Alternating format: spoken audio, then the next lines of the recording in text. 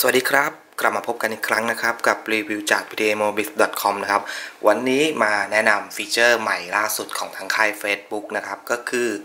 reaction นะครับฟีเจอร์นี้นะฮะก็เป็นการเพิ่มอีโมจิเข้าไปนะครับ เพื่อที่จะสื่อแสดงอารมณ์ร่วมได้มากกว่าปุ่มไลค์เพียงอย่างเดียวนะครับ ก็น่าจะหลายๆ คนน่าจะอ่านข่าว เคยเคยรับทราบข้อมูลมาบ้างแล้ว ผมคงไม่ลงลึกรายละเอียดแล้วกันนะครับ มาพูดถึงในส่วนของการใช้งานแล้วกันนะครับ ขอ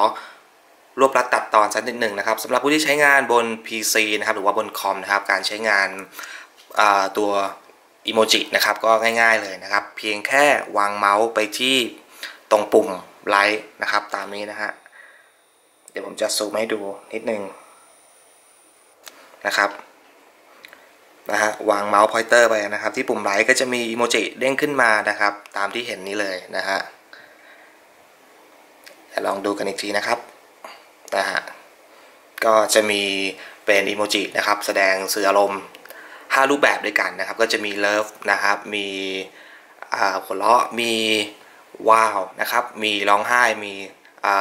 โกรธนะฮะก็จะมี 5 รูปแบบด้วยกันนะครับ รักเลยนะฮะห้าห้าก็เป็นหัวร้อนครับ ตัวนี้ก็จะเป็นว้าวนะครับ ประหลาดประหลาดใจอะไรเงี้ยนะครับ ประมาณนั้นนะครับ แล้วก็เศร้านะครับ แล้วก็โกรธนะฮะ จะมีทั้งหมด 5 รูปแบบด้วยกันนะครับ ก็กดไปนะฮะแค่นี้เองนะครับ ในส่วนของฝั่ง PC นะครับ การใช้งานก็จะประมาณนี้นะครับ แล้วก็สามารถที่จะเข้าไปดูได้อีกด้วยนะฮะว่ามีใครบ้างนะครับที่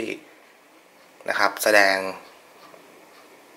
ความรู้สึกร่วมนะครับ ในส่วนของตัวอีโมจินะฮะแบบนี้นะครับ โอเค มาดูกันต่อที่ฝั่งของสมาร์ทโฟนบ้างนะฮะ ก็มีให้ใช้งานนะครับ เรียบร้อยแล้วนะฮะ บนทั้งบน iOS แล้วก็บน Android นะครับ ส่วนการใช้งานนะฮะ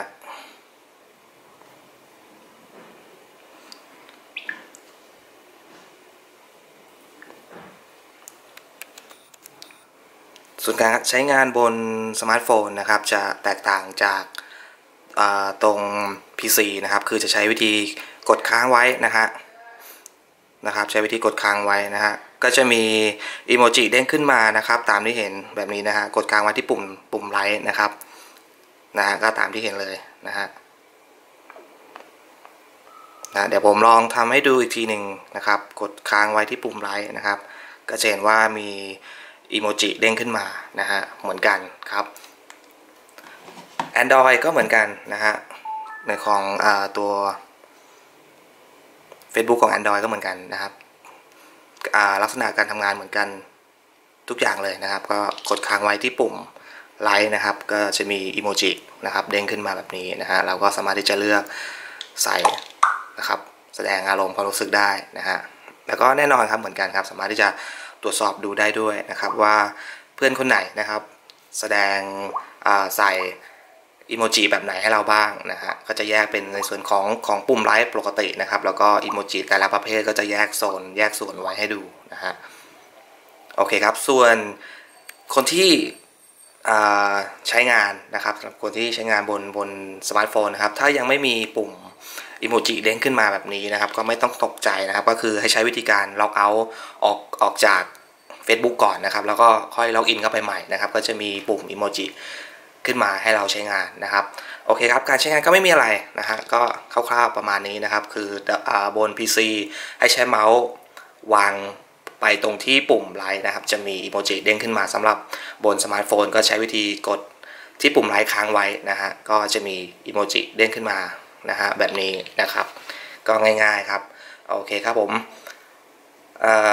ก็คงเป็นการแนะนำคร่าวๆแล้วกันสำหรับการใช้งานแล้วก็การแก้ปัญหานะครับ อย่าลืมนะครับสำหรับคนที่ยังไม่มีปุ่ม